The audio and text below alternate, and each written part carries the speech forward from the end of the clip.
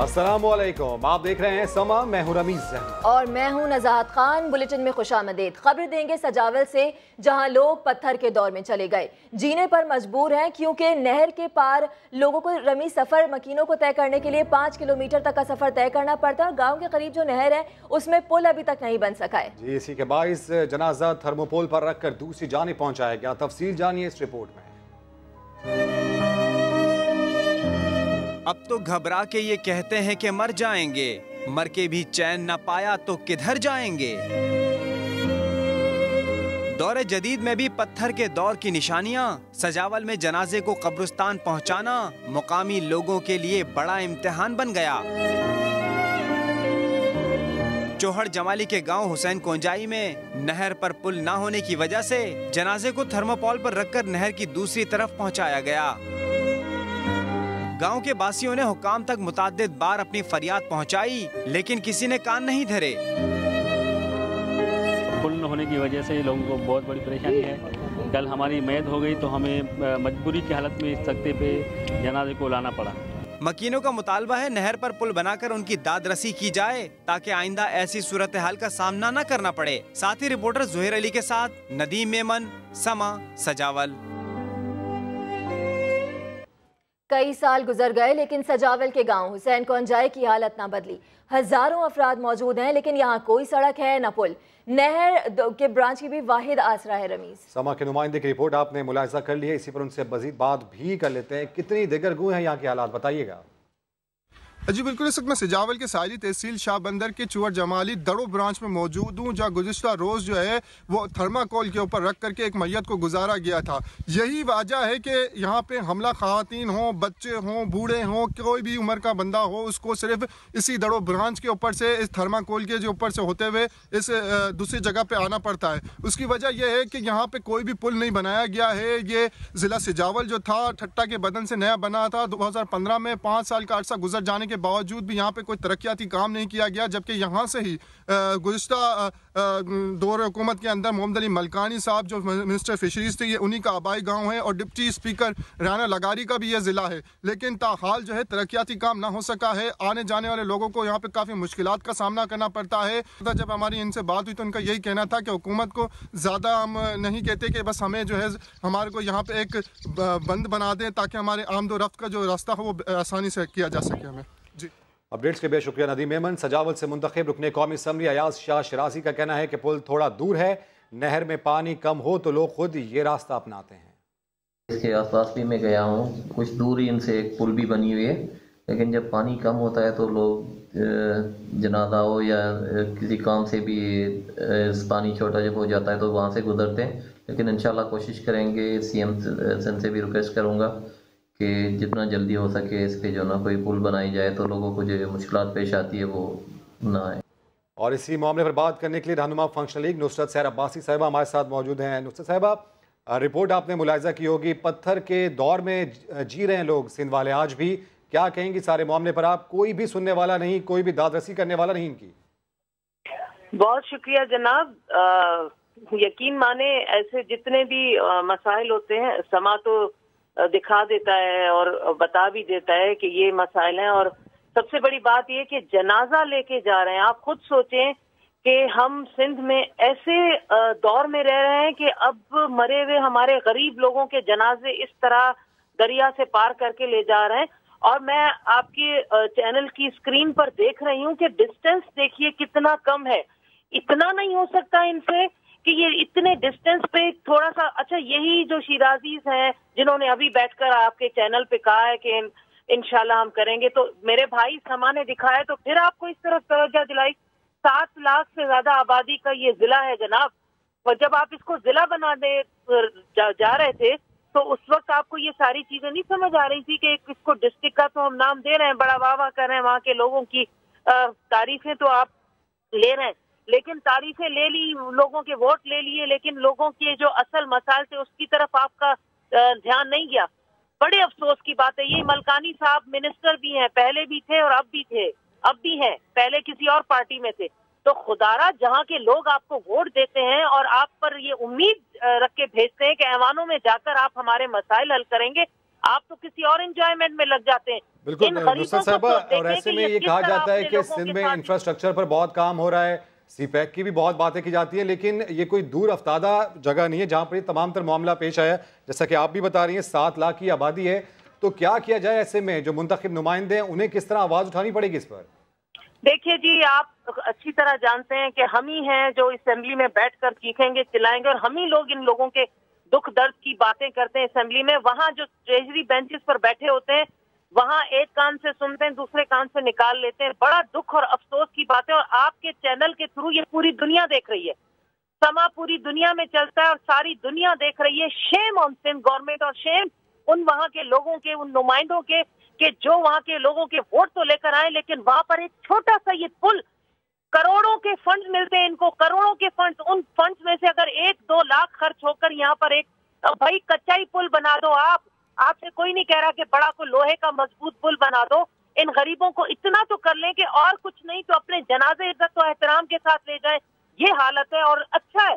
आपके चैनल के तवज्जो से सारी दुनिया ने देख लिया कि ये जो बड़े दावे करते हैं कि ज़िंदा भुट्टो है ज़िंदा भुट्टो है अभी तक ज़िंदा है भुट्टो तो ये है ज़िंदा भुट्टो। बिल्कुल जो हकीकी तस्वीर है वो इस वक्त हम इस ने समक के ज़रिए पूरी दुनिया को दिखा रहे हैं पाकिस्तान वालों को दिखा रहे हैं सिंध वालों को दिखा रहे हैं और सिंध हुकूमत के जो दावे हैं उनकी कलाई भी ये मनाजिर यकीनी तौर पर खोले होंगे। बेहद शुक्रिया नुसरत सैर अब्बासी साहिबा, इस अहम मामले पर आप हमसे गुफ्तु कर रही थी। एहतसाब अदालत में अलजीजिया रेफरेंस और फ्लैगशिप रेफरेंसेस का ट्रायल आज मुकम्मल होने का इम्कान है। ख्वाजा हारिस ने फ्लैगशिप रेफरेंस में जवाबुल जवाब दलाइल मुकम्मल कर लिए हैं। हसन नवाज़ की कंपनी से मुतालिक भी नई दस्तावेजात भी पेश कर दी गई हैं। दोनों रेफरेंसेस पर आज फैसला महफूज किया जा सकता है। नवाज़ शरीफ के खिलाफ नैब रेफरेंसेस आखिरी मरहले में दाखिल हो गया है। फ्लैगशिप रेफरेंस में नैब प्रोसिक्यूटर के हतमी दलाइल मुकम्मल हो चुके हैं। वकील सफ़ाई ख्वाजा हारिस ने जवाब जवाब के लिए वक्त मांगा था, जिस पर उन्हें एक बजे तक का वक्त दिया गया था। फ्लैगशिप रेफरेंस में ख्वाजा हारिस के जवाबुल जवाब दलाइल भी मुकम्मल हो चुके हैं। आपको साथ साथ ये भी बताएँ कि जज अरशद मलिक ने कहा था कि एक बजे तक कार्रवाई मुकम्मल करके फैसला लिखना है। एहतसाब अदालत को फ्लैगशिप और अल अजीजिया रेफरेंस का फैसला 24 दिसंबर तक सुनाना है। और साथ ही साथ याद रहे कि दोनों ही रेफरेंसेस के हवाले से, जज साहब की जानब से 24 दिसंबर को इसका फैसला सुनाया जाएगा। आशियाना हाउसिंग स्कैंडल में गिरफ़्तार मुलजिमान की दरख्वास्त जमानत की समात। सुप्रीम कोर्ट ने दरख्वास्त मौसम सरमा की तातीलात के बाद समात के लिए मुकर करने का हुक्म दे दिया। अदालत ने नैब तफ्तीशी अफसर को आइंदा समात पर तलब कर लिया है। दौरान समात जस्टिस शेख अजमत सईद ने इस्तफसार किया कि क्या रेफरेंस दायर हो चुका है। प्रोसिक्यूटर ने बताया कि नैब शहबाज शरीफ और फवाद हसन फवाद के खिलाफ रेफरेंस तैयार कर चुकी है। चेयरमैन नैब ने जिमनी रेफरेंस पर दस्तखत कर दिए। जस्टिस अजमत सईद ने कहा कि रेफरेंस के बाद सारे केस एक साथ सुनेंगे। आगे बढ़ते हैं अब आपको बताएँ लीगी रहनुमा मरियम औरंगज़ेब ने एक बार फिर तब्दीली सरकार पर इल्ज़ाम की बौछार कर दी। दावा किया कि हुकूमत तमाशे लगाकर अवाम के साथ वारदात करती है। अलीमा खान को चोर दरवाजे से एनआरओ दिया गया। वो एहतसाब अदालत के बाहर मीडिया से गुफ्तु कर रही थी। हुकूमत जो है क्योंकि ये मनफी सोच और मनफी रवैया रखती है और इनका जो वारदात डालने का तरीका है, क्योंकि असल में खुद चोर हैं, जो दाएँ और बाएँ बैठे हैं और झूठे हैं, आदि झूठे हैं, जो मैं बार बार कहती हूँ, इनका वारदात डालने का तरीका ये होता है कि जिस वक्त बिजली महँगी करनी हो तो नवाज़ शरीफ के खिलाफ एन आर ओ का बयान दे दें। जिस वक्त गैस महँगी करनी हो तो शहबाज शरीफ को गिरफ़्तार कर लें।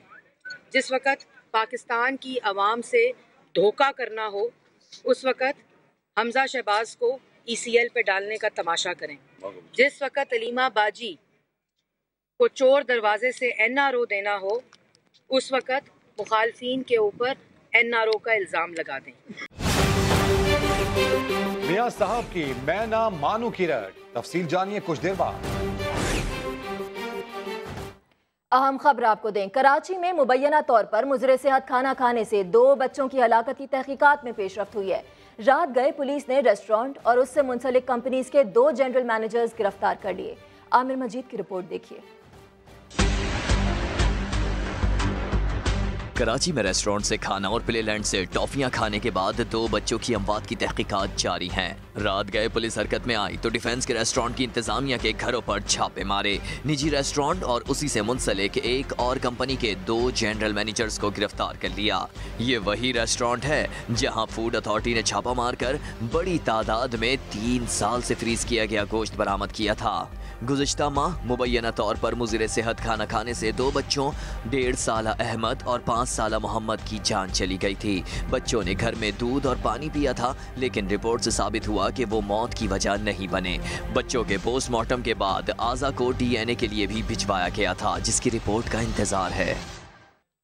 सिंध फ़ूड अथॉरिटी ने मलिर कराची में छापा मारकर कैचअप और चटनी बनाने वाली फैक्ट्री सील कर दी है। इसी पर अपडेट्स हासिल करेंगे। समा के नुमाइंद अशरफ खान से अशरफ, किन की ये मिल्कियत थी और क्या इस सारे अमल में किसी को हिरासत में या गिरफ़्तार किया गया?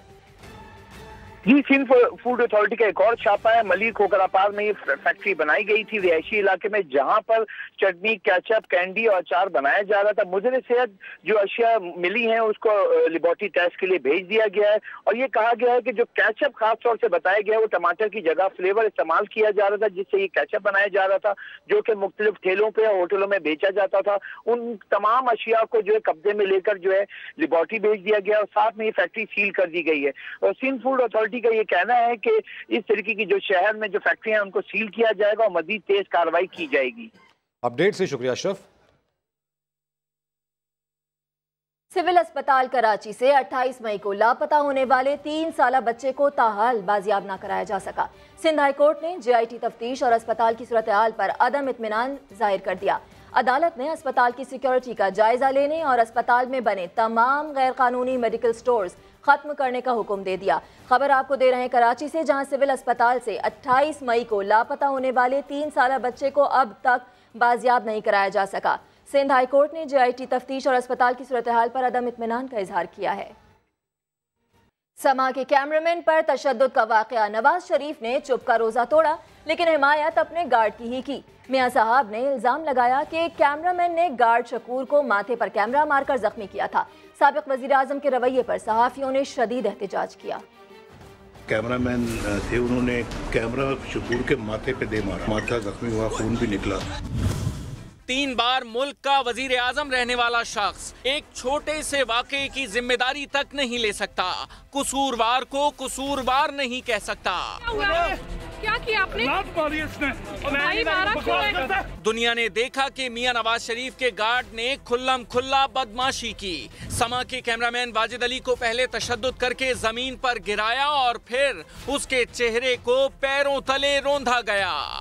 वाजिद अस्पताल में जेर इलाज है। चेहरे के जख्मों को टांकों से सिया गया है। अयादत को आने वाले वाजिद के चेहरे पर रकम की गई बर्बरियत की दास्तान देख रहे हैं। लेकिन मियाँ साहब कहते हैं कि उनके गार्ड शकूर ने तो सिर्फ़ धक्का दिया था।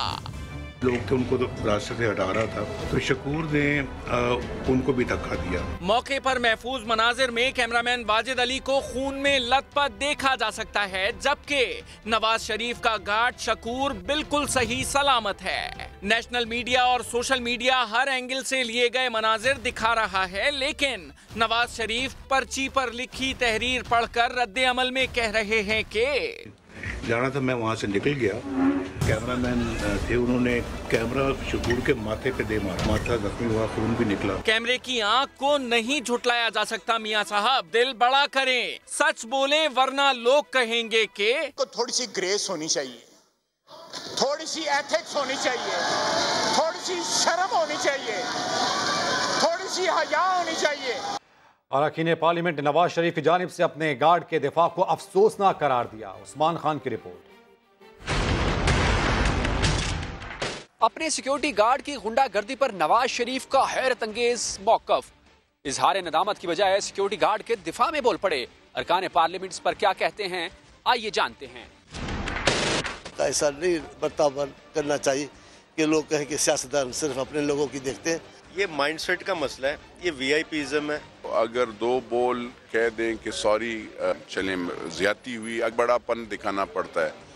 नहीं दिखाया अफसोस है मैं अफसोस ही कर सकता हूँ। हमारी सियासी कुतों में और सियासी कुतों से बाहर भी हमें बर्दाश्त का मादा जो है वो इख्तियार करना चाहिए। हमारी कैरेक्टर बिल्डिंग होनी चाहिए। हम एक दूसरे का ख्याल रखना चाहिए। अगर हमारे लीडर्स इस तरह करेंगे तो आगे जाके फिर बड़ा मसला होता है आम आवाम में जाके। दार वो लोग हैं जिन्होंने देर से परमिशन दी अगर नवाज़ शरीफ साहब पाँच नंबर से आते और जाते तो इस तरह का इंसिडेंट ना होता। अरकान पार्लियामेंट ने समा टीवी के कैमरामैन पर तशद और नवाज़ शरीफ की जानब से सिक्योरिटी गार्ड का दिफा करने के इकदाम को अफसोसनाक करार दिया। बोले, बड़े कदकाठ वाली सियासी शख्सियात को अपने रवैयों में बर्दाश्त पैदा करने की ज़रूरत है। कैमरामैन जमील मरवत के साथ उस्मान खान, समा पार्लियामेंट हाउस, इस्लामाबाद। वज़ीर खजाना असद उमर कहते हैं कि हल्फ लेने के दस दिन बाद आई एम एफ़ से रब्ता कर लिया। आई एम एफ़ से इस्लाहात की रफ्तार पर इख्तलाफ है। बातचीत जारी है। मजीद अपडेट हासिल करेंगे समा के नुमाइंदे शकील अहमद से। शकील बताइएगा, असद उमर का मजीद क्या कहना था सेनेट खजाना कमेटी से? देखिए, वज़ीर खजाना, असद उमर का ये कहना है कि आईएमएफ के साथ बातचीत का अमल तो जारी है। आज भी एक वीडियो कॉन्फ्रेंस होगी, लेकिन हमें आईएमएफ से कर्जा लेने की कोई जल्दी नहीं है, क्योंकि 12 अरब डॉलर का जो फाइनेंसिंग गैप था, वो हम पूरा कर चुके हैं इस माली साल के लिए।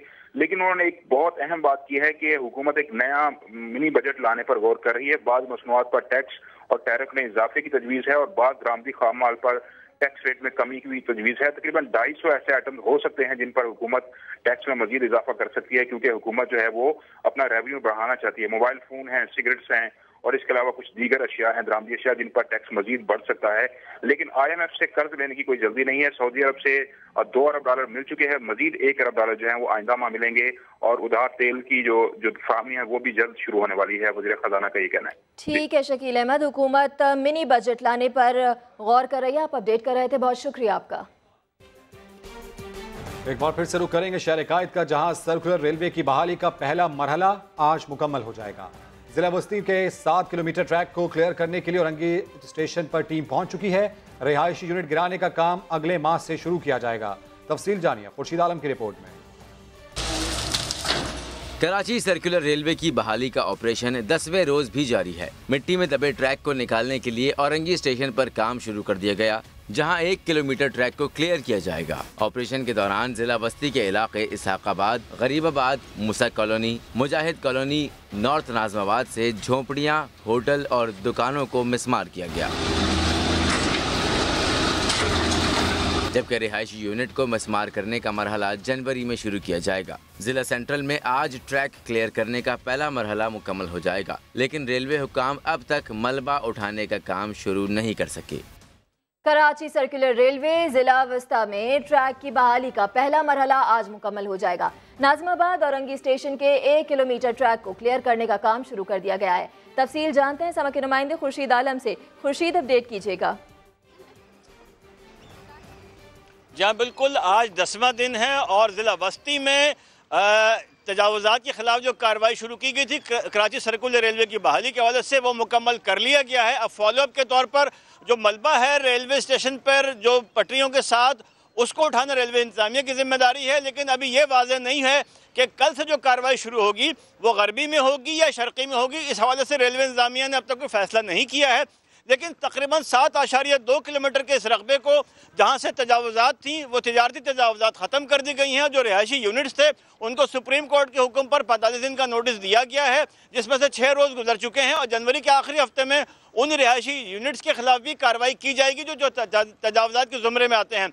जिला बस्ती में दो ऐसे पॉइंट्स हैं औरंगी स्टेशन जहाँ पर मैं मौजूद हूँ, और लियाताबाद स्टेशन जहाँ पर कुछ ज़मीनों को रेलवे ने खुद मेंशन किया है कि ये हमारे किराएदार या हमारे लीजी हैं इनको ना हटाया जाए। वहाँ पर गोदाम है और यहाँ पर एक सीएनजी स्टेशन है। लेकिन मजमू तौर पर अब तक किसी मजामत का सामना नहीं करना पड़ा। रेलवे जिला बस्ती के सात किलोमीटर ट्रैक को क्लियर करने के लिए औरंगी स्टेशन पर टीम पहुँच गई है और आज सर्कुलर रेलवे की बहाली का पहला मरहला मुकम्मल हो जाएगा। खुर्शीद आलम आप अपडेट कर रहे थे बहुत शुक्रिया आपका। डॉक्टर फारूक सत्तार एक बार फिर मेयर कराची पर बरस पड़े। कहने लगे वसीम अख्तर ने शाह से ज़्यादा शाह के वफादार बनकर तोड़ फोड़ तो कर ली, लेकिन वो मलबा कब उठाएँगे और बहाली का काम कब शुरू करेंगे? ये जो कराची में शाह से ज़्यादा शाह के वफादार बन के मेयर कराची ने तोड़ फोड़ की है, अब वो मलबा वहीं पर पड़ा हुआ है। और जहाँ जहाँ ये मलबा है, वहाँ वहाँ दोबारा से स्टॉल और ठेले लगना शुरू हो गए हैं। कराची का इलाका एहसनाबाद खंडर का मंजर पेश कर रहा है। इलाके में गंदा पानी जमा है जिसे साफ़ करने वाला कोई नहीं है। मकीनों ने पत्थर रखकर आर्जी रास्ता बनाया है। समा के नुमाइंदे अली हसनैन अपडेट करेंगे हमें। जी हाँ इस वक्त हम लोग मौजूद हैं कराची के इलाके एहसनाबाद में जहाँ नाम तो बड़ा एहसन है लेकिन यहाँ के लोग कितने एहसन तरीके से ज़िंदगी गुजार रहे हैं? मेरे साथ कैमरामैन मोहम्मद आतिफ दिखाएँगे। गलियों की हालत कुछ इस तरह की है कि ये किसी ऐसे खंडरात का मंजर पेश कर रही हैं और साथ साथ आगे जाएँ तो आपको पानी नज़र आएगा रोडों पर जो खड़ा हुआ है। लोगों से हमारी बात हुई तो उनका यही कहना है कि हमें ये मुश्किल झेलने की अब आदत हो गई है। हमारे जो अहदेदारान हैं इस मोहल्ले के, इस इलाके के जो हुक्मरान हैं, वो सिर्फ़ वोट लेने हमारे पास आते हैं और उसके बाद पलट के शक्ल तक नहीं दिखाते। इस वक्त भी देखा जाए तो पानी सड़क पर कुछ ज़्यादा ही भरा हुआ है। ऐसा लग नहीं रहा कि ये किसी गली में हम घूम रहे हैं। ऐसा लग रहा है कोई आइलैंड है। वो भी गंदे पानी का जहाँ अतराफ में घर बने हुए हैं। आपसे मैं थोड़ी बात करूँ। यार यहाँ आप रहते हो। कितनी मुश्किल है ज़रा बताओ यहाँ पे बहुत परेशानी है। हम लोग बहुत परेशानी में रह रहे हैं। कोई देखने वाला नहीं है कोई पूछने वाला नहीं हमसे। कोई देखने वाला नहीं कोई सुनने वाला नहीं कोई पूछने वाला नहीं है। यहाँ की सूरत हाल बहुत ज़्यादा गंभीर और बहुत ज़्यादा मुश्किल में यहाँ के लोगों की यहाँ के इलाका मकीनों की ज़िंदगी नज़र आ रही है जिनसे हुक्मरान आकर कोई हाल नहीं लेते ना ही यहाँ के किसी भी इलाका मकीन की ज़बान पर यह था कि हमने अपने वोट लिए वोट दिए हुए हुक्मरान को यहाँ इलेक्शन के बाद देखा है। एहसनाबाद की अब तर सूरत हाल के हवाले से आप अपडेट कर रहे थे अली हसनैन बहुत शुक्रिया आपका।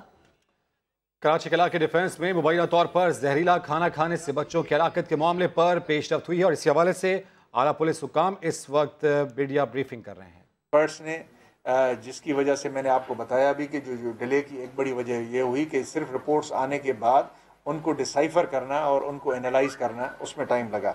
ये सब बैक्टीरिया, न और यीस्ट और मोल्ड्स, न सिर्फ़ जो एक रीज़नेबल मकदार होती है, उससे बहुत ज़्यादा थे, बल्कि ये अब बहुत से आइटम्स में थे।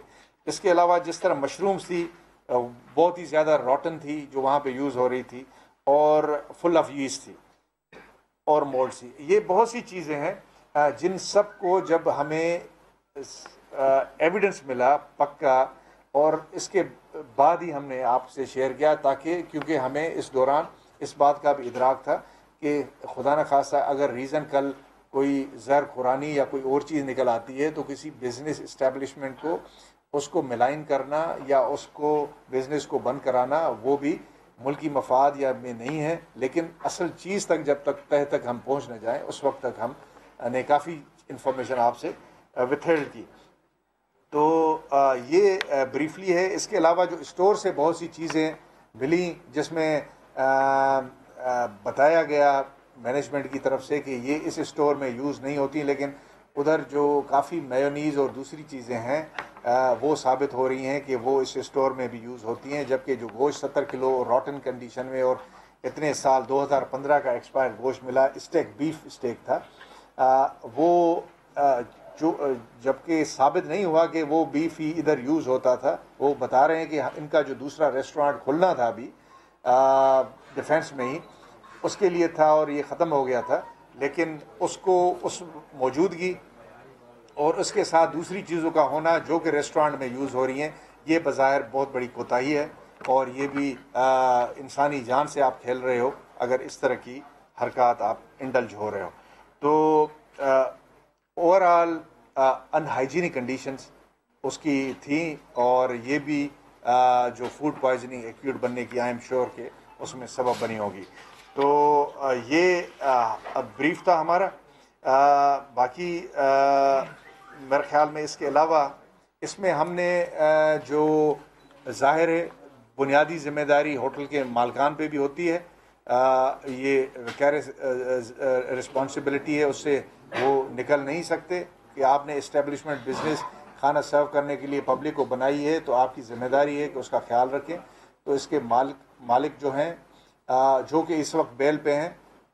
उनको भी हम चालान करने जा रहे हैं court court of the law में और इसके साथ जो मैनेजमेंट है और उसमें जो मैनेजर्स रिस्पॉन्सिबल हैं जिनको दो को हमने गिरफ़्तार किया है अदनान अलीम और आमिर अख्तर शेख इन दोनों को गिरफ़्तार बैक्टीरिया फ़ूड पॉइजनिंग का बायस बना और इसी से हलाकतें हुई। रेस्टोरेंट के मालिक और मैनेजर्स को गिरफ़्तार करके इनके खिलाफ कार्रवाई आगे बढ़ाई जा रही है। डीआईजी साउथ प्रेस कॉन्फ्रेंस कर रहे हैं। बुलेटिन में शामिल करेंगे एक ब्रेक लेकिन उससे पहले न्यूज़ अपडेट्स। पंजाब हुकूमत की जानब से बसंत बनाने के फैसले को लाहौर हाई कोर्ट में चैलेंज कर दिया गया। बसंत खूनी खेल की शक्ल इख्तियार कर गया था इसलिए पाबंदी लगाई गई।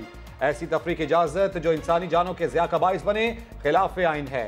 दरख्वास्त गुजार का मौके।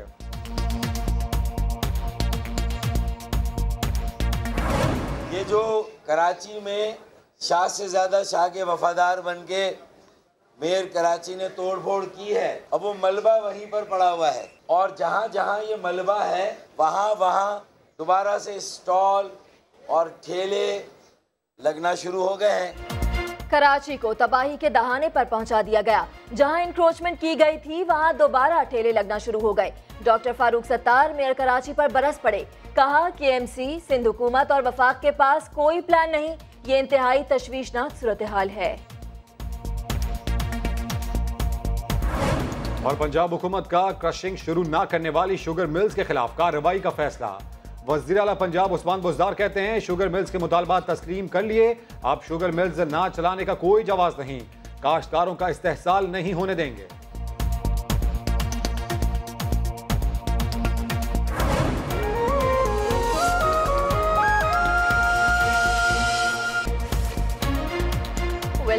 खबर देंगे आपको कराची से जहाँ रनछोड़ लाइन की भंगवाद नास बिल्डिंग की हालत मखदूश होने के बावजूद।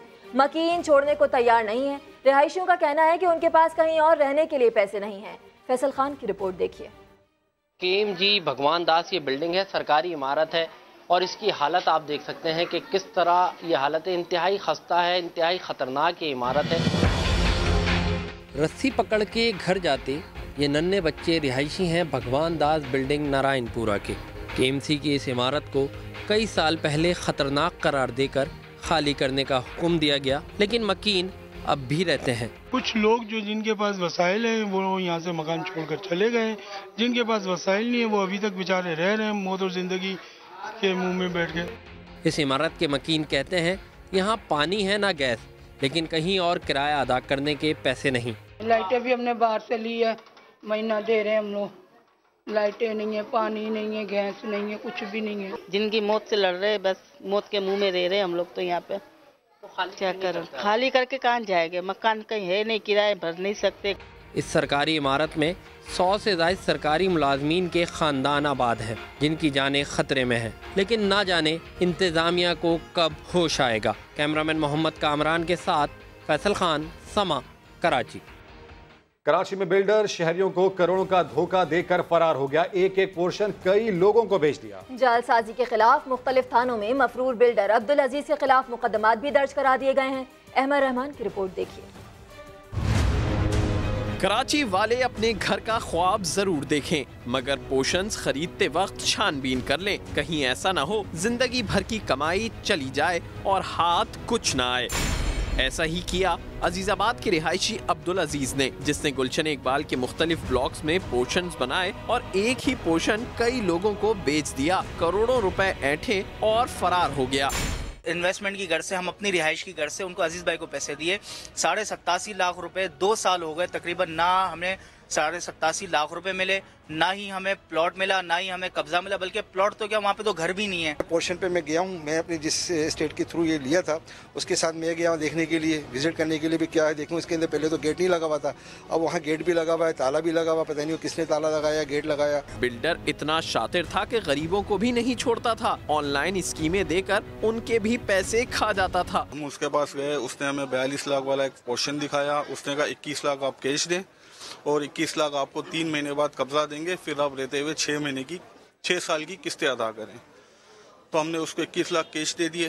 फिर उसने तीन महीने की जगह उसने एक सवा साल मतलब पोर्शन कंप्लीट करने में लगा दिया कि पोर्शन पे पाबंदी है। ब्लॉक फाइव में हमने दो पोर्शन बुक करवाए थे और हमें दो साल से वो टाल मटोल कर रहा है और हमें अभी तक पोर्शन नहीं मिले हैं।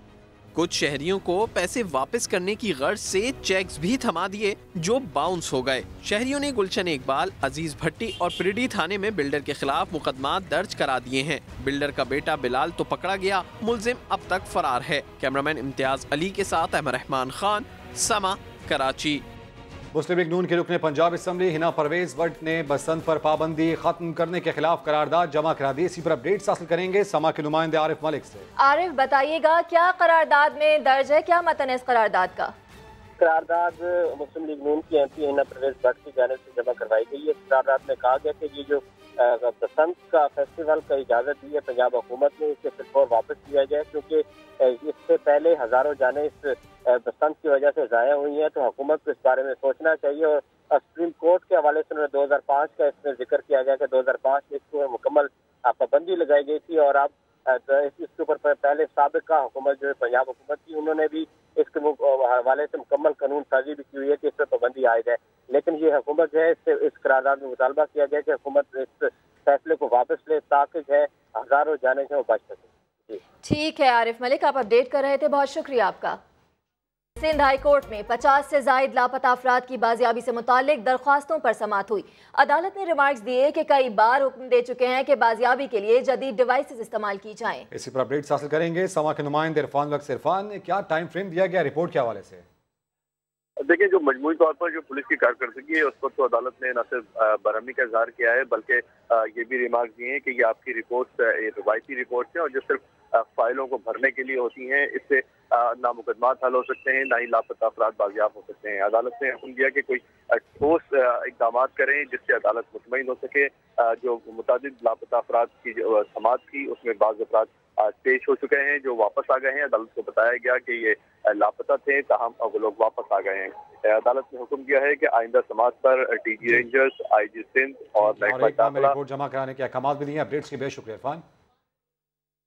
मुल्क के मुख्तलिफ़ इलाकों से चोरी शुदा गाड़ियों के सवात में चलने का इंकशाफ सामने आया है। नॉन कस्टम पेड गाड़ियों की आर्जी रजिस्ट्रेशन के दौरान छिहत्तर गाड़ियाँ और सत्रह मोटरसाइकिलें इन्हें तहवील में ली है। सैयद शहाबुद्दीन रिपोर्ट कर रहे हैं। स्वात में चोरी शुदा गाड़ियाँ चलने का इंकशाफ। नॉन कस्टम पेड गाड़ियों की आर्जी रजिस्ट्रेशन मुहिम के दौरान पुलिस ने छिहत्तर गाड़ियाँ और सत्रह मोटरसाइकिलें तहवील में ले ली। चार मुलजिमान भी गिरफ़्तार कर लिए गए। हमने उन गाड़ियों को पकड़ा है जो चोरी हो चुकी है और चोरी की ला के फिर इधर उसको as a non custom paid show किया गया है। शहरी कहते हैं गाड़ियाँ मुकम्मल कागजात के साथ खरीदी। अब पुलिस परेशान कर रही है। जी मैंने एनसीपी गाड़ी खरीदी करोला और उसके साथ पूरे डॉक्यूमेंट्स थे। और सब प्रोसेस से हमने चेक करके हमने गाड़ी ली थी।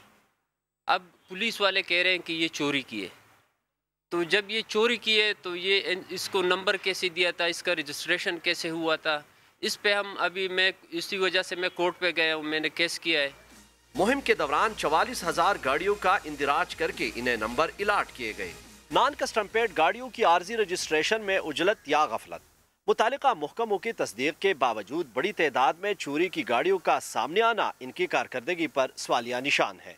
कैमरामैन फरजंद अली के साथ सैद शहाबुद्दीन समा स्वात इंसानी हकूक के लिए नाकबिल फरामोश काम करके वो नाम कर गईं। अकवा मुतहदा ने आसमा जहांगीर को अवार्ड से नवाज़ दिया। इंसानी हकूक का अला तरीन अवार्ड आसमा जहांगीर की बेटी मोनिज जहांगीर ने वसूल किया।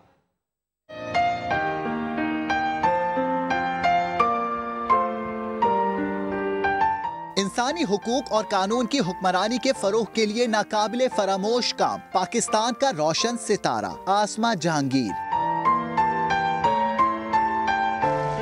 बिलाशुबा उन्होंने जो किया, वो हमेशा याद रखा जाएगा। इंसानी हकूक का बावकार तरीन अवार्ड अकवा मुतहदा ने आसमा जहांगीर के नाम किया। बेटी मुनेजे जहांगीर ने वालदा का अवार्ड वसूल किया। पुरवकार तकरीब अकवा मुतहदा की जनरल असम्बली के हॉल में मुनद हुई। मुनेजे जहांगीर वालदा को अवार्ड से नवाजे जाने पर पुरमसरत थी। कहती हैं, वालदा की काविशों ने सरफखर से बुलंद कर दिया। वो आज भी हमारे दिलों में ज़िंदा हैं। इतने बड़े वर्ल्ड स्टेज के ऊपर रिकग्नाइज किया गया है और पाकिस्तान से कोई ऐसी खातून को रिकग्नाइज किया गया है जिसने बग़ैर किसी सियासी सपोर्ट के, बग़ैर किसी स्टेट सपोर्ट के अपने बलबूते के ऊपर ये अवार्ड जीता। आसमा जहांगीर ये अवार्ड जीतने वाले चार अफराद में से एक थी। ऐलान अकवा मुतहदा की जानब से अक्टूबर में किया गया था। आसमा जहांगीर रवा साल फरवरी में इंतकाल कर गई थी। वो हम में नहीं रही, लेकिन उनका नाम, उनका काम हमेशा ज़िंदा रहेगा। दीर में होने वाली मैराथन रेस में पाक फौज के नसरुल्ला ने पहली पोजीशन हासिल कर ली इसी पर अपडेट्स हासिल करेंगे समा के नुमाइंदे सज्जाद हैदर से सज्जाद बताइएगा जी बिल्कुल रमीज आज तिमरगरा के इलाके में जो है पाक फौज और सिविल इंतजामिया के जेर एहतमाम जो है मैराथन रेस का इनका किया गया था अस्सी के करीब खिलाड़ी जो है इस, इन्होंने इसमें शिरकत की थी जबकि आठ टोटल टीम थी जिसमें सात जो थी मालाकान डिस्ट्रिक्ट की थी और एक पाक फौज की थी। रेस का रेस जो थी वो पाक फौज के नौजवान जो है नसरुल्ला ने जो है जीत लिया। पहले नंबर पे आए हैं जबकि दूसरे नंबर पे भी पाक फौज के जो है मोहम्मद आतिफ मोहम्मद लोअर तीर के मोहम्मद आतिफ ने जो है तीसरी पोजीशन हासिल की है और रेस जो है इस सब में पजीर हो चुकी है। अपडेट से बेहद शुक्रिया सजाद thank you